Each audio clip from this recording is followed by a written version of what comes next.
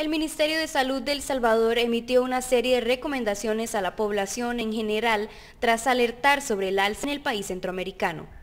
Las autoridades de salud salvadoreñas informaron sobre el incremento de los casos de tifoidea al tiempo que publicaron recomendaciones para que la población no se vea afectada por esta enfermedad que puede llegar a ser mortal. La cifra de casos detectados no se ha confirmado hasta el momento. Entre las recomendaciones dadas por el Ministerio están no consumir alimentos crudos, evitar el consumo de leche cruda, lavarse las manos con abundante agua y jabón, lavar frutas y verduras y hervir o purificar el agua antes de consumirla.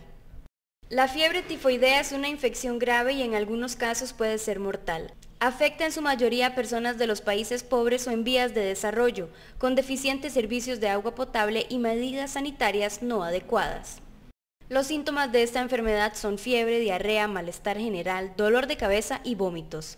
De no ser tratada a tiempo puede ocasionar la muerte. El Ministerio de Salud de El Salvador pidió a las personas que tengan alguno de estos síntomas a que evite la automedicación y que asista de inmediato a un centro de salud.